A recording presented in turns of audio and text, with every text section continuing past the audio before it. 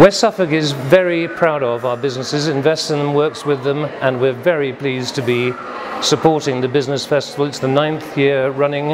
It's the biggest event of its kind in the Eastern region, and we very much hope to see you all there. Tremendous opportunities.